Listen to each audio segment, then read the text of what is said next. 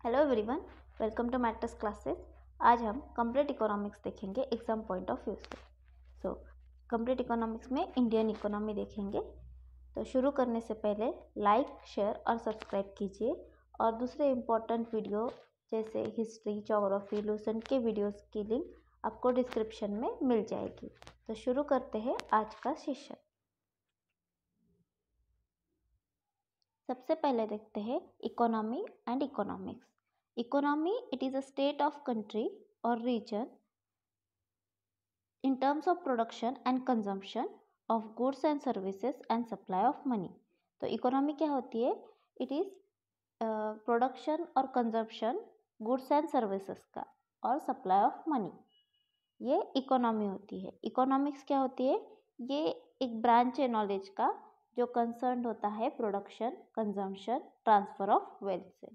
फिर तीन टाइप्स की इकोनॉमी होती है कैपिटलिस्ट इकोनॉमी स्टेट इकोनॉमी और इन दोनों का मिक्सचर मिक्स्ड इकोनॉमी तो वन बाय वन देखते हैं। सबसे पहले capitalist economy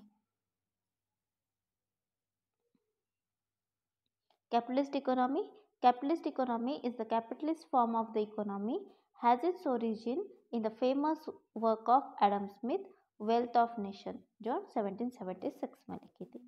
तो capitalist economy capitalist form of economy का ओरिजिन हमें एडम स्मिथ के वेल्थ ऑफ़ नेशन में मिलता है। State economy state economy rooted in the ideas of historical change propose by German philosopher Karl Marx more specifically this kind of economy system first came in to अस्ट while U S S R after Bolshevik revolution, जो 1719 1917 में हुई थी and got its ideal shape of People's Republic of China in 1949 दो version थे state economy के, socialist economy और communist economy. Socialist economy USSR में थी and communist economy pre 1985 China China का 1985 के पहले कम्युनिस्ट इकोनॉमी थी। मिक्स्ड इकोनॉमी, इन दोनों इकोनॉमी की मिक्सचर होता है। नेक्स्ट देखते हैं। कुछ इम्पोर्टेंट बुक्स और थेरीज जो इकोनॉमिक्स पे लिखी गई है। तो सबसे पहली है वेल्थ ऑफ़ नेशन इसके ऑथर है Adam Smith Adam Smith is author of wealth of nation money illusion इसके ऑथर है Irving Fisher capital and growth इसके ऑथर है J R Hicks general theory of employment interest and money इसके author है J M Keynes planned economy for India. M. Vishweshwar Raj.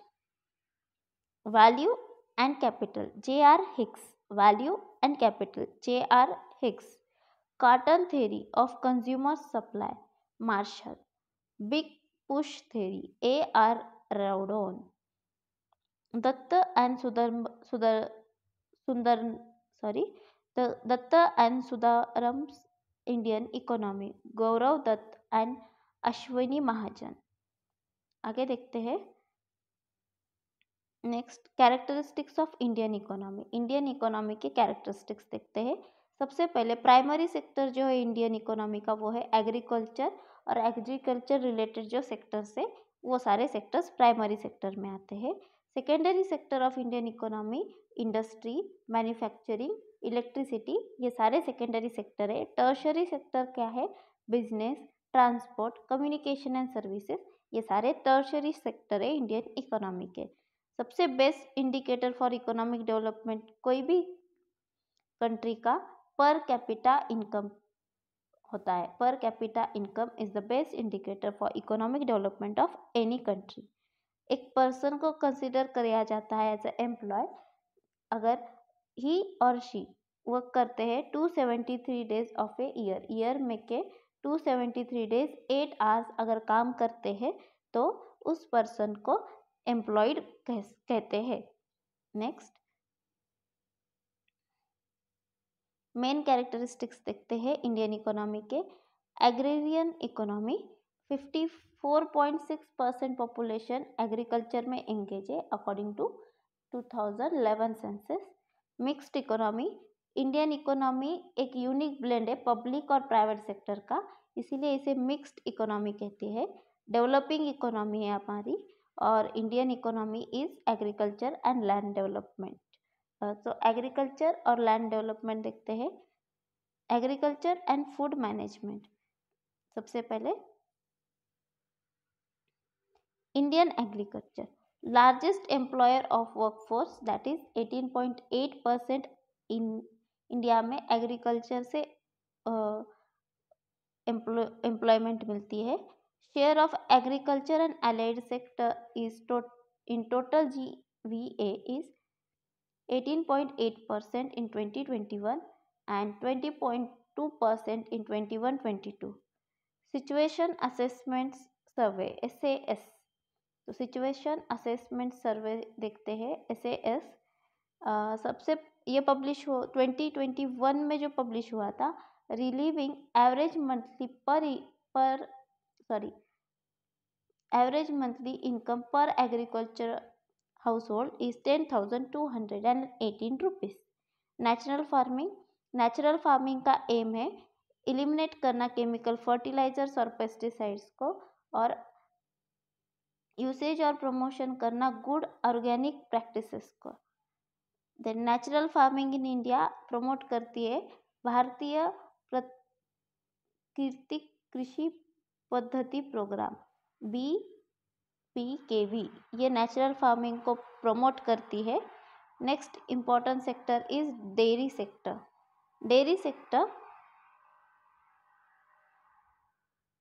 economics survey जो 2021-22 में हुआ था dairy contributes 5 percent to Indian economy India first rank है milk production में India का. 23 percent of the global milk is product produced in India all India per capita availability of milk is 40 to 427 grams per day. Fisheries fisheries में India second largest fish producing country है, जिसमें 7.56 percent global production India से होता है और प्रधानमंत्री मत्स्य संपदा योजना P M M S Y, ये मई 2020 में लॉन्च हुई थी। Next next is one ration one ration card. One nation, one ration card O N O R C ये स्कीम 2019-20 में लॉन्च हुई थी। Government 20 percent of ethanol blend target करता है, ethanol is mixed with petrol. ये target achieve होगा by 2025 then sweet revolution sweet revolution के लिए गवर्नमेंट ने 500 करोड़ सैंक्शन किए हैं national bee keeping and honey mission 2020 से लेके 2023 तक थ्री इयर्स के लिए ये स्वीट रिवोल्यूशन था। नेक्स्ट एग्रीकल्चर प्रोडक्शन बोर्ड तो एग्रीकल्चर प्रोडक्शन बोर्ड में कॉफ़ी बोर्ड है, जिसका हेडक्वार्टर बेंगलुरु, कर्नाटक में है। कॉफ़ी एक्ट ऑफ़ 1942 है। रबर रबर बोर्ड है, रबर का, रबर बोर्ड का हेडक्वार्टर केरला में है, कोट्याम में। Rubber act of 1947 tea board है टी बोर्ड के हेडक्वार्टर है West Bengal Kolkata. Tea act 1953 tobacco board है गुंतूर आंध्र प्रदेश में। Tobacco act of 1975 the spices board spices board का हेडक्वार्टर है Kochi Kerala. Spices act 1986 national meat and poultry processing board, Delhi headquarter है। 26 दिसंबर 2008 में establish हुई थी। इंडियन ग्रेप्स प्रोसेसिंग बोर्ड है पुणे, महाराष्ट्र। सेकेंड जनवरी 2019 में ये बोर्ड आया था। नेक्स्ट देखते हैं। कमर्शियल क्रॉप्स, जो प्रोड्यूस करते हैं for trade purpose not consumption consumption जिस क्रॉप्स का नहीं करते हैं और ट्रेड पर्पस के लिए जो प्रोड्यूस होते हैं, उसे कमर्शियल क्रॉप्स कहते हैं। M S P stand for minimum support price M S P का लॉन्ग क्या है? लॉन्ग फॉर्म क्या है? M S P minimum support price green revolution of India doctor Norman Borlaug and doctor M S Swaminathan इन्होंने green revolution लाया था India में। White revolution speedy increase in production of milk products milk products में increase production में increase लाने के लिए white revolution लाया गया था। ऑपरेशन फ्लड का एम था to increase the space of white revolution father of operation flood is doctor Verghese Kurien ये फादर ऑफ़ ऑपरेशन फ्लड माने जाते हैं। येलो रिवोल्यूशन का एम था to increase in oil seeds production blue revolution का aim था to increase the fish fish production green revolution का aim था first in third five year plan तो green revolution first time third five year plan में start हुई थी। आगे देखते हैं sorry most positive effect of green revolution हुआ था। वीट के प्रोडक्शन में 500 परसेंट वीट का प्रोडक्शन बढ़ गया था after green revolution cooperative credit organisation start हुई थी 1904 1904 में कॉपरेटिव क्रेडिट ऑर्गेनाइजेशन स्टार्ट हुई थी।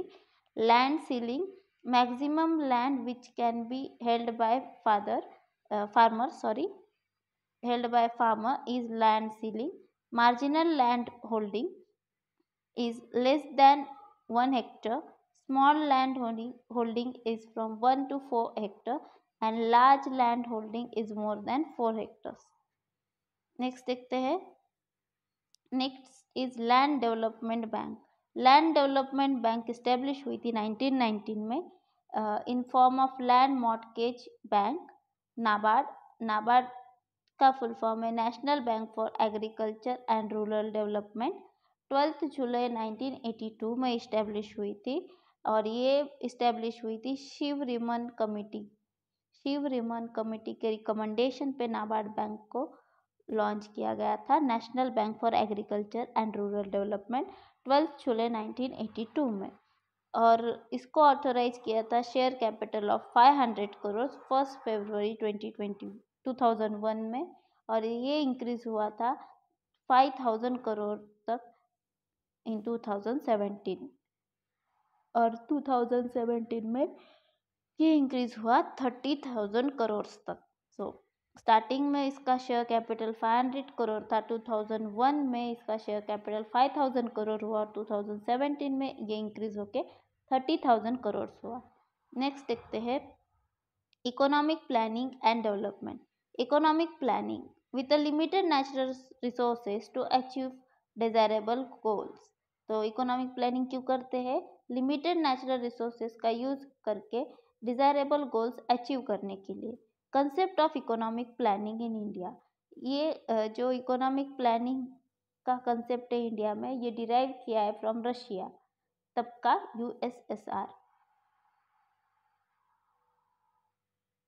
प्लानिंग कमीशन कॉन्स्टिट्यूट हुआ था इंडिया में 1950 में।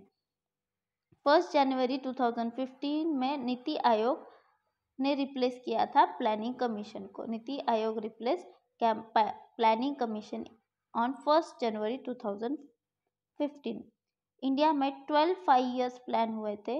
एक एक के बारे में देखते हैं। First five year plan first five year plan 1951 से 56 2.1 परसेंट जीडीपी टारगेट था और अचीव की थी to three point six so two point one target था थ्री पॉइंट सिक्स अचीव हुई और हरोड दामोर मॉडल था फ़र्स्ट फाइव ईयर प्लान का. सेकेंड फाइव ईयर प्लान 1956 से 61 तक 4.5 एस्टिमेट किया था और 4.21 परसेंट जी हुई थी और यहाँ पे प्रोफेसर पी सी मालबोनिस ये इम्पोर्टेंट थे. Third 1961 to 66 5.6 was estimated and 2.72 was achieved. Sukhmoy Chakraborty and Professor Sadi. Fourth five-year plan 1969 to 74. 5.7 estimate की थी 2.05. Ashok Rudra and Alan S. Manning. Fifth five-year plan from 1974 to 79. 4.4% was estimated and achieved 4.83%. Like fourth five-year plan which is called investment model of planning commission sixth five year plan 1980 से 85 तक 5.2 estimate की गई थी और 5.54 achieve हुई थी based on investment योजना infrastructural changing trend to growth model फिर सेवन्थ फाइव ईयर प्लान आया 1985 से 90 तक। फाइव प्रपोज की गई, एस्टिमेट की गई थी और 6.2 अचीव हुई थी। और like six five year plan prepare Pranab Mukherjee. Eight five year plan 1992 से 97 था। 5.6 एस्टिमेट की गई थी और 6.68 अचीव हुई थी। John W Mellor model use किया गया था। Then ninth planning commission create की गई थी टेंथ में भी प्लानिंग कमीशन क्रिएट की गई थी। एलेवेंथ में प्रोफेसर सी राजन ने कमीशन बनाई थी, ए प्रिपेयर किया था पूरा प्लान और ट्वेल्थ में प्लानिंग कमीशन थी। आगे देखते हैं।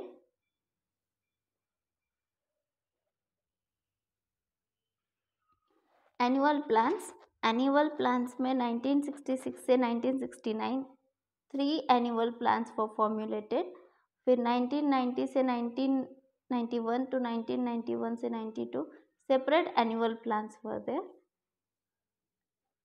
unemployment unemployment तो अनएम्प्लॉयमेंट और एम्प्लॉयमेंट देखते हैं। In India unemployment unemployment is structural in nature due to lack of productivity and resources. Types of unemployment cyclic unem uh, cyclical unemploy, unemployment, frictional unemployment open unemployment seasonal या ऐसे अलग अलग unemployments के type से cyclic unemployment वो होता है जो डिप्रेशन इकोनॉमी में डिप्रेशन आने की वजह से होता है। फ्रिक्शनल अनएम्प्लॉयमेंट वो टेम्पररी अनएम्प्लॉयमेंट होता है as a result of situation situation a new industries industry out but old ones and the workers change over to better jobs open em- unemployment refer to those who have no work to do, even though they are able and willing to do work. ये open unemployment होता है। Seasonal unemployment इसका मतलब ऐसा unemployment farmers का और farm labourers का होता है। फार्मर्स और फार्म लेबरर्स अनएम्प्लॉयड है। इस, इसे सीजनल अनएम्प्लॉयमेंट कहते हैं educated unemployment they this is mainly found in urban areas जहाँ educated persons who are able to get job comes under this category under employment under employment distinguish disguised unemployment भी कहते हैं, जैसे engineering working as a clerk employed तो engineering एक engineer working है, वो clerk जैसा एम्प्लॉयमेंट ले रहा है तो कहते कंपलसरी अनएम्प्लॉयमेंट मतलब labour power which is ready to work on current rate but उनको वर्क नहीं मिलता है। Next development and employment programme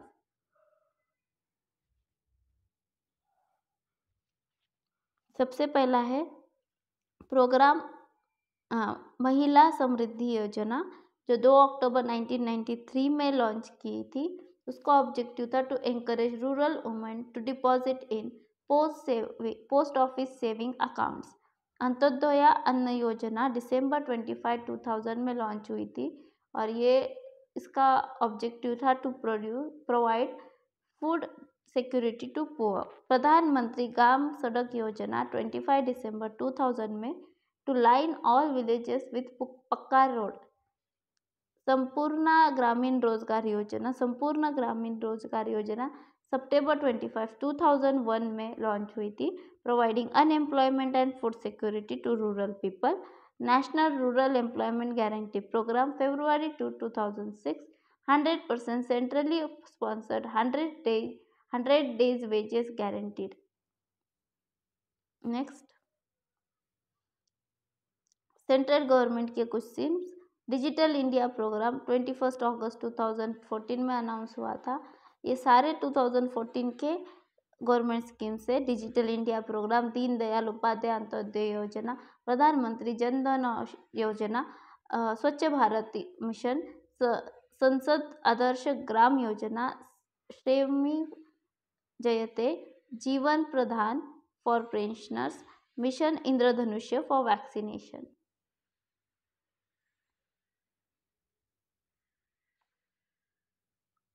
2015 में के इम्पोर्टेंट स्कीम्स नीति आयोग, हृदय, बेटी बचाओ, बेटी पढ़ाओ, सुकन्या समृद्धि योजना मृदा स्वस्थ कार्ड प्रधानमंत्री कौशल्य विकास योजना कार्यक्रम, PM skill development scheme, Janani Suraksha Yojana, Pradhan Mantri सुरक्षा बीमा योजना, प्रधानमंत्री सुरक्षा बीमा योजना, प्रधानमंत्री जीवन ज्योति बीमा योजना, अटल pension Yojana, Ustad minorities Ustad was minorities artisan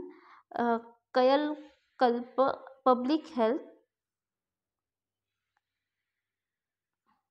housing for all schemes twenty two thousand fifteen की है। Atal mission for rejuvenation and urban transformation 2015 की है। 2015 के और है smart city project digital India Indradhanush seven seven point mission for strengthening of public sector bank Swarna Mudrika Yojana स्वर्ण bond Yojana Swarna bullion Yojana और उदय usual discom Yojana. Next 2016 में startup India ग्रामोदय से भारत उदय प्रधानमंत्री उज्ज्वला योजना, नमामि गंगे, ये सारे 2016 में लॉन्च हुए थे। Next is Mahatma Gandhi national rural employment guarantee scheme तो ये स्कीम इसे मनरेगा भी कहते हैं M N R E G S MNREGA scheme is for national rural development grand guarantee bill जो कि September seven two thousand five में launch हुई थी। Hundred days you employment per year per year में हंड्रेड डेज़ एम्प्लॉयमेंट मिलेगा। The government of India on October second two thousand nine NREGA से मनरेगा की scheme का नाम। Next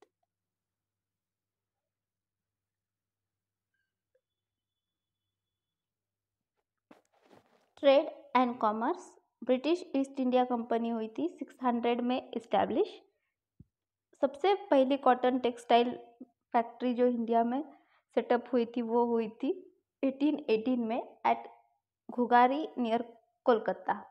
Sorry, आगे देखते हैं।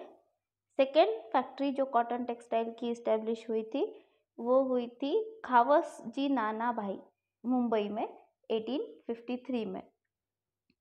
18 1855 में फ़र्स्ट जूट फैक्ट्री इस्टेब्लिश हुई थी रिशारा, वेस्ट बंगाल। 1853 में रेलवेज इन इंडिया और 1907 1907 में जमशेदजी टाटा ने फ़र्स्ट स्टील फैक्ट्री जमशेदपुर में इस्टेब्लिश की थी। नेक्स्ट देखते हैं। New economic policy. तो न्यू इकोनॉमिक पॉलिसी 1985 में आई। फ़र्स्ट टाइम आई थी ड्यूरिंग प्राइम मिनिस्टर तब कौन से थे? राजीव गांधी के time Rajiv Gandhi prime minister थे 1985 के टाइम पे। तब न्यू इकोनॉमिक पॉलिसी आई। 1991 में second wave of new economic reforms आए।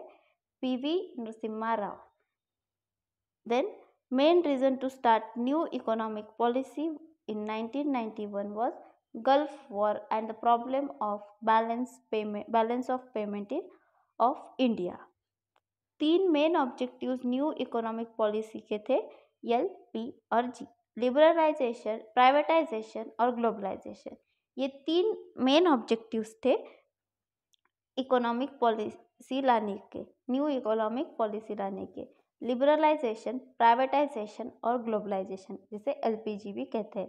लिबरलाइजेशन प्राइवेटाइजेशन ग्लोबलाइजेशन 1996 में disinvestment commission I to review give suggestions and make regulations on the issue of disinvestment फिर Shri G V Ramakrishnan थे, जो इस दिस इन्वेस्टमेंट कमीशन के first chairman थे। आगे देखते हैं। 1992 में क्या हुआ था? National renewal renewal fund constitute हुआ था। और Navratna company rising at a world level फिर नवरत्न कंपनी राइज होने लगे एट वर्ल्ड लेवल नेक्स्ट देखते हैं Indian financial system Indian financial system Indian money market जो था, ये मार्केट था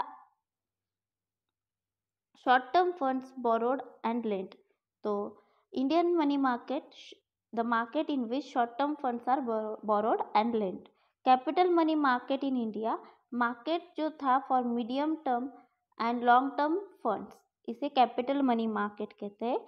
Devaluation lowering of official value of the local money in terms of foreign currency and gold इसे devaluation कहते हैं। Local money का जो वैल्यू है, उसे कम करना with respect to foreign currency और gold balance of payments BOP ये सिस्टमेटिक रिकॉर्ड होता है of all economic transaction between one country and the rest of the world in a given period of time balance of trade BOT ये difference होता है between value of goods exported and value of goods imported per annum services not included services include नहीं होते balance of trade में. Reserve Bank of India regulate कर control करता है money of the country RBI RBI establish हुआ था first April 1935 में, जिसका कैपिटल था फाइव करोड़ और ये नेशनलाइज हुई फ़र्स्ट जनवरी 1949 में। तो 1935 में आरबीआई का इस्टेब्लिश हुआ और नेशनलाइज हुई फ़र्स्ट जनवरी 1949 में। Financial year of Reserve Bank starts on first July और एंड होता है थर्टीथ जून में।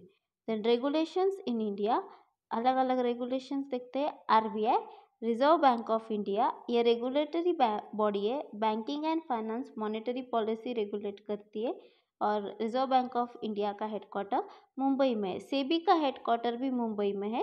SEBI Securities and Exchange Board of India ये ये सिक्योरिटीज स्टॉक और कैपिटल मार्केट को रेगुलेट करती है। E T I I R D A I इसका हेडक्वार्टर हैदराबाद में है। Insurance Regulatory and Development Authority of India ये इंश्योरेंस सेक्टर को रेगुलेट करती है। P F R D A इसका हेडक्वार्टर न्यू दिल्ली में है। Pension fund and regulator and development authority ये पेंशंस को रेगुलेट करती है।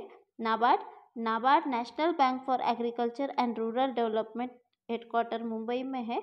और ये finance financing for rural development इस सेक्टर को रेगुलेट करती है। देन सिडबी सिडबी सिडबी का हेडक्वार्टर लखनऊ में है and SIDBI Small Industries Development Bank of India.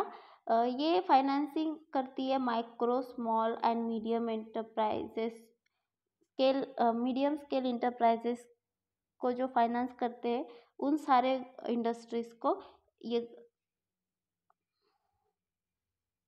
Regulate करती है then TRAI T R A I Telecom Regulatory Authority of India, headquarter New Delhi में है और telecommunication and tariffs and cyber security को regulate करती है C B F C Central Board of Film Certification.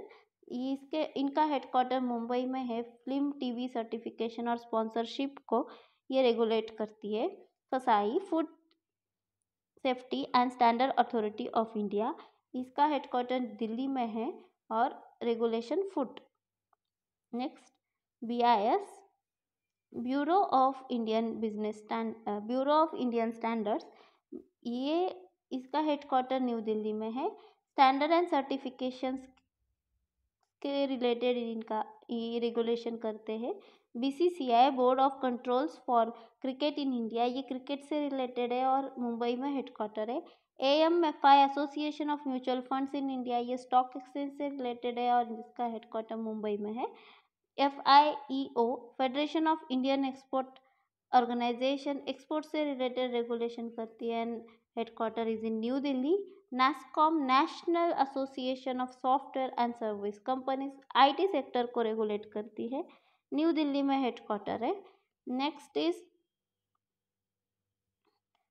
C D S C O C D S C O Central Drug Standard Control Organisation ये medical devices और drugs को regulate करती है headquarter New Delhi I B B I का भी headquarter New Delhi Insolvency and Bank Board of India ये finance sector को regulate finance को रेगुलेट करती है। Then rankings of India in different indices global corruption perception index ये sorry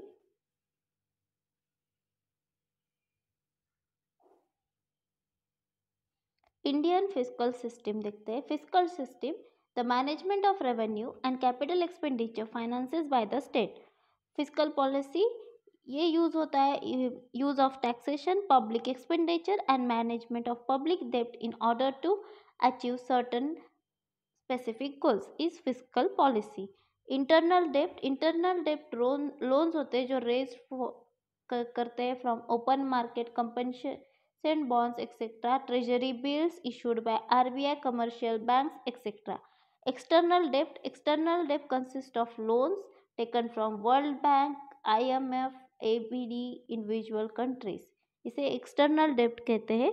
deficit financing deficit financing एक pixel physical tool है। In hands of government to breach the gap between revenue receipt and revenue expenditure. Deficits क्या होती है? Deficits revenue deficit होता है budget deficit और physical deficit तो revenue deficit is excess of revenue expenditure over revenue receipts revenue deficit is equals to total revenue expenditure minus total revenue receipts budget budget deficit budget deficit are excess of total expenditure over total receipt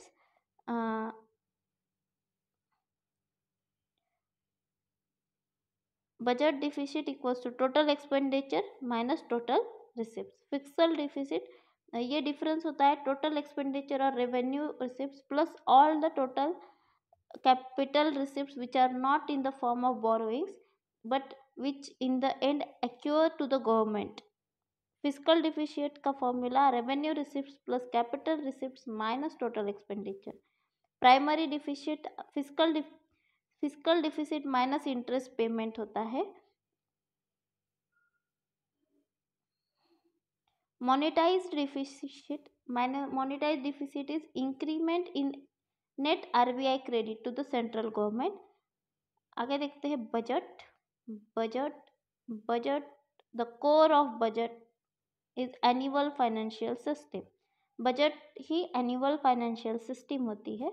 Annual financial statement is nothing but annual को budget इसका article है hundred and twelve hundred and twelve में a statement of estimated receipt and expenditure of government of India has laid before the parliament और article 202 के हिसाब से a statement estimated receipt and expenditure of state government has been laid before the house of state legislature concern तो जो annual financial statement होता है वो article one twelve और two hundred and two hundred and two financial year और physical year एक अप्रैल से start होता है, मार्च थर्टी फ़र्स्ट तक contingency fund and impress placed at the disposal of the president to incur such expenditure. Demands for grants presented to the Lok Sabha along with annual financial statement. Next, financial bill. Financial bill किसी bill को किसी financial bill को money bill article hundred and ten के हिसाब से कह सकते हैं आर्टिकल टेन बताता है कि कौन सा फाइनेंशियल बिल मनी बिल है बजट 2007 टू 2018 इस टाइम पे मर्जर हुआ था railway budget with general budget. Next देखते हैं money banking and insurance in India. India में मनी बैंकिंग और insurance Reserve Bank of India establish हुई थी फ़र्स्ट अप्रैल 1935 में। फिर उसका नेशनलाइजेशन हुआ फ़र्स्ट जनवरी 1949 में। वन रुपी कॉइन और नोट फाइनेंस मिनिस्ट्री साइन करते हैं। बाकी सारे uh, और रिलीज़ भी करते हैं। बाकी सारे करेंसी और notes Reserve Bank of India निकालती है और साइन होती है गवर्नर के, रिज़र्व बैंक के। औड औद कमर्शियल बैंक 1881 में इस्टेब्लिश हुई थी। इस, ये first bank of limited liability managed by Indians थी। फिर पंजाब नेशनल बैंक 1894 में स्वदेशी मूवमेंट 1906 में ये इंकरेज की the formation of number of commercial banks in India national companies act February 1949 में आई जिसने अमेंड किया to read as banking regulation act of 1949 next I Rudra Mudra sorry Mudra Mudra bank Mudra bank Mudra stands for micro units development refinance Mudra bank जो थी, ये setup हुई थी through statutory enhancement responsible for development and refinancing Pradhan Mantri Mudra Yojana partner with local coordinators and provide finance to last mile financiers of micro businesses business के stages होते हैं, शिशु, किशोर और तरुण। शिशु मतलब up to fifty thousand Kishore is fifty thousand से लेके five lakh तक and Tarun is ten plus ten lakh plus next ये launch हुई थी एट अप्रैल 2015 में by prime minister was propose in the budget 2015-16 with initial corpus of thousand crores next देखते हैं। List of public sector banks Bank of Baroda establish हुई थी 1908 में। इसमें देना बैंक और विजया बैंक मर्ज हो गए हैं। हेडक्वार्टर है Vadodara Vadodara, Gujarat. Bank of India establish हुई थी 1906 में। Headquarter Mumbai, Maharashtra. Bank of Maharashtra establish हुई थी 1935 में। पुणे, महाराष्ट्र में हेडक्वार्टर है। Next sorry next is Canara bank Canara bank establish हुई थी 1906 में। सिंडिकेट बैंक कैनरा बैंक के साथ मर्ज हुई है और हेडक्वार्टर बेंगलुरु में। Central bank of India, central bank of India 1911 में इस्टेब्लिश हुई। Headquarter Mumbai, Maharashtra. Indian bank 1907 में इस्टेब्लिश हुई। अलाहाबाद बैंक, इंडियन बैंक में मर्ज हुई है। चेन्नई तमिलनाडु हेडक्वार्टर है। Indian overseas bank Indian overseas bank 1937 में इस्टेब्लिश हुई। चेन्नई तमिलनाडु इसका, चेन्नई में हेडक्वार्टर है। Public sorry Punjab and Sindh bank 1908 में इस्टेब्लिश हुई। न्यू दिल्ली हेडक्वार्टर है। आगे देखते हैं। Punjab national bank Punjab national bank 19 1894 में इस्टेब्लिश हुई। Oriental bank of commerce united bank of India ये दो बैंक्स पंजाब नेशनल बैंक में मर्ज हुए हैं और पंजाब नेशनल बैंक पीएनबी का हेडक्वार्टर है न्यू दिल्ली में। स्टेट बैंक ऑफ़ इंडिया 1955 में इस्टेब्लिश हुई। All other state banks Bharat और भारतीय महिला बैंक, ये सारे स्टेट बैंक ऑफ़ इंडिया में मर्ज हो गए और state bank of India SBI का headquarter Mumbai, Maharashtra. UCO bank 1943 में इस्टेब्लिश हुई, कोलकाता, वेस्ट बंगाल। हेडक्वार्टर है। Union bank of India 1919 Andhra bank और कॉरपोरेशन बैंक मुंबई महाराष्ट्र इसका हेडक्वार्टर है। Next top three private sector bank देखते हैं। ICICI bank IC ICICI bank 1994 में इस्टेब्लिश हुई थी। हेडक्वार्टर मुंबई में है और उसके अराउंड 4,882 ब्रांचेस है। एक्सिस बैंक 1933 में लॉन्च हुई थी हेडक्वार्टर मुंबई में है और 4,800 ब्रांचेस है। H D F C bank limited इसका भी हेडक्वार्टर मुंबई में है 1994 में इस्टेब्लिश हुई थी और 4787 ब्रांचेस है इस H D F C bank limited के। Next banking in India banking in India India में बैंक्स को फोर कैटेगरीज में क्लासिफाई किया गया है commercial bank small finance bank payment bank और कोऑपरेटिव बैंक कमर्शियल बैंक में कमर्शियल बैंक्स आते हैं पब्लिक सेक्टर बैंक्स आते हैं प्राइवेट सेक्टर बैंक्स आते हैं और फॉरेन बैंक्स आते हैं. Small finance banks payment payment banks cooperative banks में अर्बन कोऑपरेटिव बैंक और रूरल कोऑपरेटिव बैंक्स आते हैं. पब्लिक सेक्टर बैंक्स में फिफ्टी परसेंट स्टेक गवर्नमेंट का होता है, पब्लिक सेक्टर बैंक्स में। Then bank is own by state government. Stay, वो है state bank of Sikkim. Regional rural banks R R Bs forty three R R Bs है पूरे India में। Foreign bank, forty five foreign bank है India में। No number of, sorry number of schedule commercial banks schedule commercial banks जो India में वो one thirty seven banks है, twelve P S Bs, forty three R R Bs, twelve small finance banks, four payment banks और forty five foreign banks. ऐसे मिलके schedule commercial banks one thirty seven है और commercial bank जो है ये first complete commercial bank है India की। इम्पेरियल बैंक ये जो है 1921 में इस्टेब्लिश हुई थी और ये क्रिएट की थी by merging three main presidency bank तीन मेन प्रेसिडेंसी बैंक्स थे, जिनको मर्ज करके इम्पेरियल बैंक 1921 में इस्टेब्लिश की। द लार्जेस्ट बैंक थी इम्पेरियल बैंक जिसका नेशनलाइजेशन हुआ 1955 में on recommendation of Gorewala committee और फिर इस इम्पेरियल बैंक को हम आज स्टेट बैंक ऑफ़ इंडिया नाम से जानते हैं। नेक्स्ट देखते हैं। First regional rural bank second October 1950 1975 में इस्टेब्लिश हुई थी और फ़र्स्ट कोऑपरेटिव बैंक 1904 में। आगे देखते हैं।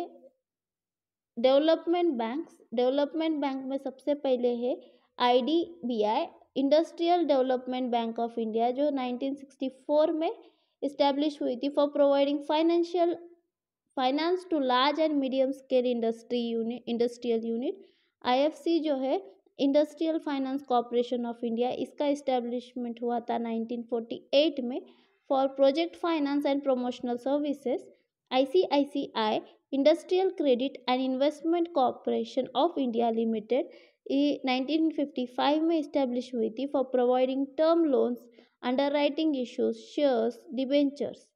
SIDBI should small development small industries development bank of india 1989 may provide assistance to small scale industries through state, state finance corporation and state industrial development corporation and commercial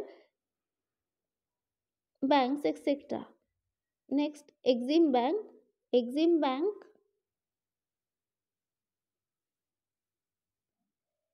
exim bank import export bank of India 1982 में special specialise financial institution जो Holi govern करता है government of India next देखते हैं। N H P N H P is national fine housing bank जो establish हुई थी 1988 में। New development bank N D B two में इस्टेब्लिश हुई थी to support and foster infrastructure and sustainable development initiative in emerging economies. NABARD National Bank for Agriculture and Rural Development 1982 में establish हुई थी with 100 crore AIIB in Asian infrastructure investment bank ये multilateral development bank है 2016 में establish हुई थी IFAD international fund for agriculture development 1977 में establish हुई थी। थर्टीन स्पेशलाइज एजेंसी थी यूनाइटेड नेशन के। Then ADB ADB is Asian development bank 1966 में इस्टेब्लिश हुई थी। Headquarter Manila, Philippines. Currently 67 members है इंडिया के सिक्सटी सेवन मेंबर्स है जिसमें इंडिया भी है 6.32 percent. India started borrowing from ABD from 1986. Insurance insurance में oriental life insurance company Calcutta, ये नाइन एटीन एटीन में लॉन्च हुई थी, या इस्टेब्लिश हुई थी L I C life insurance corporation September 1956 में इस्टेब्लिश हुई जनरल इंश्योरेंस कॉरपोरेशन नवंबर 1972 में इस्टेब्लिश हुई और 1993 में committee on insurance sector reforms under chairmanship of R N Malhotra important bank terminology देखते हैं। सबसे पहले बैंक रेट बैंक रेट क्या होता है?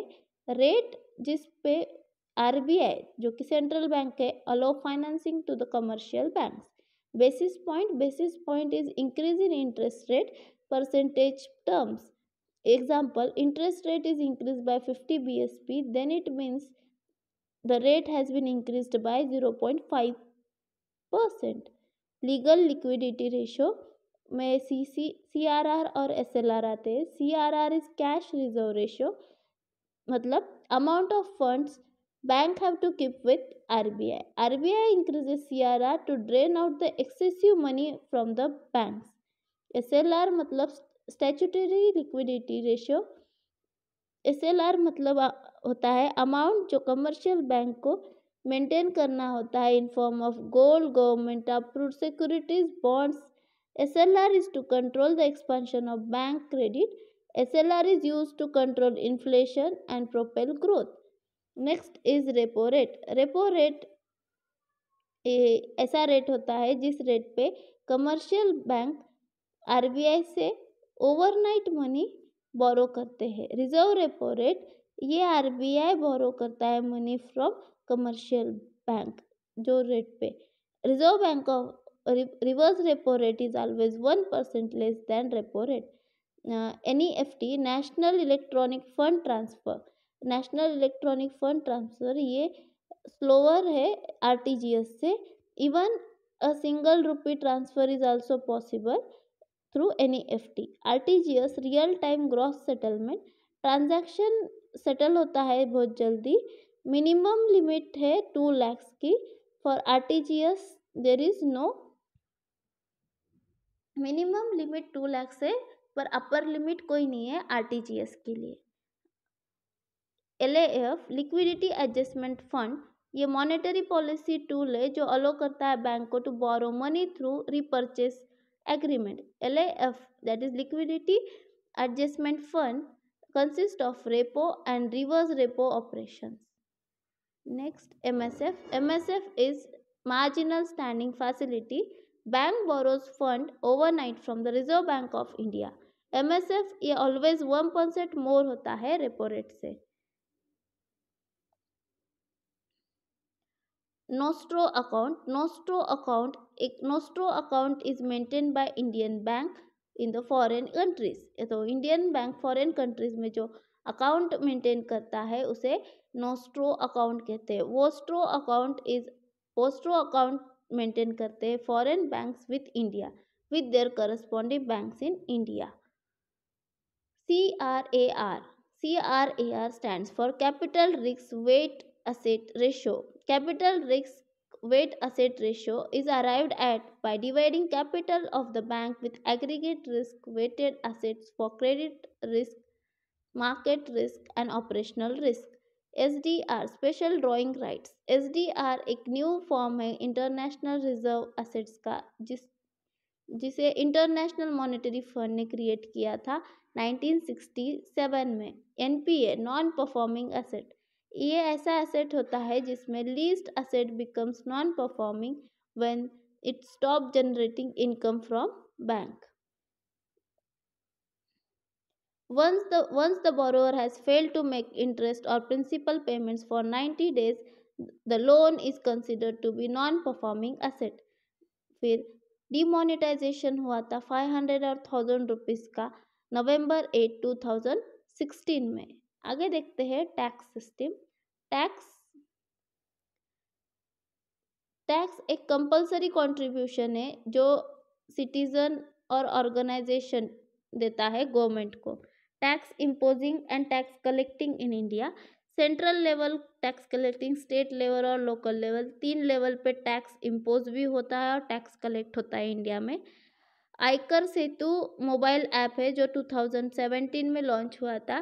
टैक्स जो सेंट्रल गवर्नमेंट लेती है, वो है custom duty income tax corporate tax tax जो स्टेट गवर्नमेंट लेती है, वो है right to collect all the taxes and spend them direct tax taxes direct taxes होते हैं taxes levied by central government on incomes wealth are important direct taxes.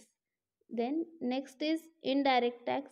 Indirect taxes are not paid by some authorities, it is actually passed on to other in the form of increased cost. जैसे कि excise tax sales tax VAT entertainment tax are indirect taxes next next देखते हैं। R Chelliah committee, जो अगस्त 1991 में form हुई थी for suggesting reforms in tax tax structure के एल रेखी कमेटी ये 1992 में फॉर्म हुई थी for suggesting uniform regulation for indirect taxation financial commission जो है वो आर्टिकल 280 में आता है financial commission article 280 July 15 2010 Indian rupee got symbol Indian rupee को सिंबल मिला जुलाई 15 2010 में। One one coin and one rupee note एक लेजर टेंडर मनी है। यम वन नैरो मनी होता है। M one is a narrow money M three is a broad money where as G S T is assent of president two thousand sixteen से। और ये लाया गया one hundred and one one hundred and first amendment act जिसे goods and service tax भी कहा जाता है। GST goods and service tax कुछ फाइनेंशियल इंस्टीट्यूशंस और उनका establishment industrial industrial credit and investment corporation of India जनवरी 1955 में इस्टेब्लिश हुई थी। Industrial finance corporation of India 1948 में इस्टेब्लिश हुई। Unit trust of India headquarter Mumbai में है। फ़र्स्ट फेब 1964 में इस्टेब्लिश हुई थी। National bank for agriculture and rural development, NABARD, जिसका इस्टेब्लिशमेंट हुआ था 12 जनवरी 1982 में इस्टेब्लिश हुई। Industrial reconstruction bank of India 1985 में इस्टेब्लिश हुई। Small scale industries development bank of India SIDBI इसका हेडक्वार्टर लखनऊ में है 1990 में इस्टेब्लिश हुई। Export import bank of India EXIM bank 1982 में इस्टेब्लिश हुई। रीजनल रूरल बैंक कोलकाता में सबसे पहले इस्टेब्लिश हुई 1975 में। Life insurance corporation of India headquarter Mumbai सितंबर 1956 में। इंपीरियल बैंक ऑफ़ इंडिया 1921 में। Reserve bank of India Mumbai headquarter है। फ़र्स्ट अप्रैल 1935 में। Industrial credit and investment corporation of India जनवरी 1955 में। स्टेट बैंक ऑफ़ इंडिया 1955 में। National housing bank, जुलाई 1988 में general insurance corporation of India 1972 में, national agriculture and rural development 1982 में। Next industry, new industry policy आई 1991 में, abolition of industrial licences, industrial licence का abolition हुआ। Next, entry of foreign investment हुआ technology, जिसके वजह से approval of direct investment up by 51%, foreign equity in high priority industries, public sector role diluted dilute hua. Since 1956, 17 public sector industries there. From 1991, and industries that co continue to be reserved for the strategic concerns predominated arms ammunition defense equipment defense aircraft warship atomic energy mineral oils and mineral related atomic energy railways ये सब new industrial policy 1991 में हुआ then union budget 1997-98 में Navratna introduce किए गए नवरत्न में आए SAIL IOC BPCL HPCL भेल हाल ओएनजीसी एनटीपीसी और कुछ पीएसयूज थे GAIL MTNL NMDC PFC PGCIL REC N A L C O S C I and C I L ये बाद में ऐड किए गए। नेक्स्ट नवरत्नस एंड महारत्नस भी थे। Golden handshake scheme golden handshake scheme ये स्कीम लाई थी to minimise the finance burden on the public sector enterprises the government government ने स्टार्ट की थी voluntary retirement scheme V R S for the employees by giving full compensation to employees. Disinvestment policy disinvestment policy जो थी, ये policy include करती थी strategic disinvestment by way of sales of substantial portion of government shareholdings in identified CPSEs up to 50% or more. इसके साथ ही, along with transfer of managemental controls. India सबसे largest producer है कॉटन और jute का second largest producer है silk और manmade fibre का कानपुर को मैनचेस्टर ऑफ़ नॉर्थ इंडिया कहते हैं वहाँ पे टेन कॉटन मिल्स है स्मॉल इंडस्ट्रीज़ डेवलपमेंट बैंक ये है सिडबी जिसका इस्टेब्लिश जिसको इस्टेब्लिश किया था 1955 में।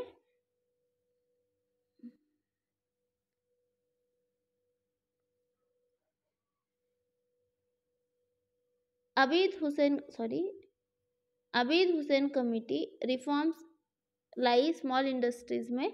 आईडीबीआई इंडस्ट्रियल डेवलपमेंट बैंक जिसको इस्टेब्लिश किया था फ़र्स्ट जुलाई 1964 में। UTI unit trust of India 1964 में small savings of people through sales of units and investment them into securities Indian industrial investment bank limited 17 March 1997 में गवर्नमेंट के under companies act 1956 में IIBL invest India industrial investment bank limited headquarter था कोलकाता में। Then industrial performance देखते हैं। Industrial performance में India सबसे largest producer था जूट का वर्ल्ड में। India has emerge as the largest producer of cotton in the world and second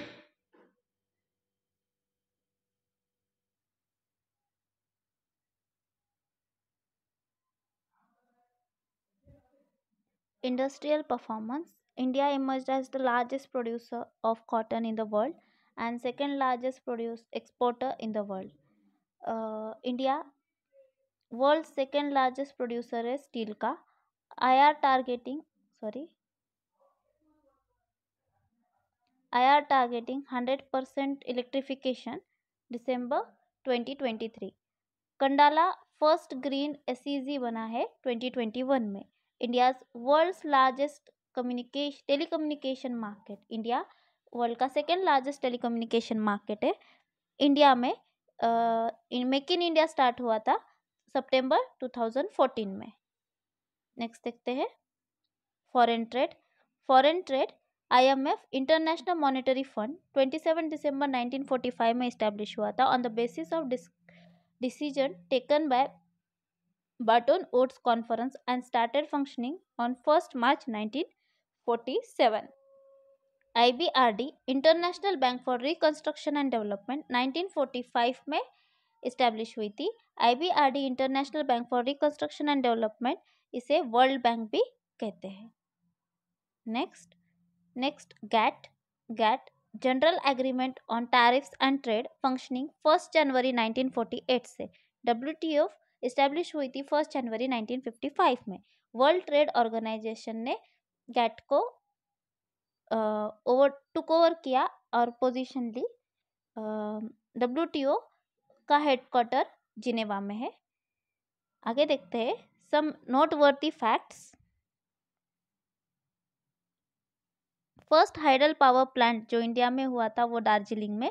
First postal stamp in India 1852 में। Money order system in India 1880 में 1880 में आया। Big push theory R Rodan Rodan, Alfred Marshall principle of consumer surplus, central Agmark laboratory Nagpur में, first cotton industry Kolkata में 1818 में और second cotton industry Mumbai में Cowasji Nanabhai 1853 में। नेक्स्ट। कुछ important economics and financial terms. Amalgamation मतलब मर्जर। अप्रिसिएशन मतलब increase in value of something current asset मतलब material and invention inventories fixed asset मतलब building and machineries intangible asset मतलब patents and goodwills auctions bids जो made जो buyers बना बनाते हैं balance sheet statement showing the assets and liabilities of profit and loss at business at certain date balance sheet help करता है estimating the real financial situation of a firm bank ये ऐसी situation होती है जहाँ पे person is unable to discharge his depth obligation bear bear individual who sells shares in hope that stock price would fall bull individual जब buy share करते हैं in the hope that price stock would rise boom boom the point at which price and employment are maximum call money ऐसा loan होता है जो कि बहुत छोटे पीरियड के लिए लिया जाता है for about a week call money closed economy closed economy economy होती है having no foreign trade deflation fall in fall in the general price level over particular period of time monopoly में one buyer many sellers होते हैं sorry one seller many buyers होते हैं। M O U memorandum of understanding introduce की गई। Memorandum of understanding इसको introduce किया था 1988 में। ज़ीरो कूपन बॉन्ड इसे ट्रेजरी बॉन्ड्स भी कहते हैं। फिर मिसलेनियस देखते हैं कुछ।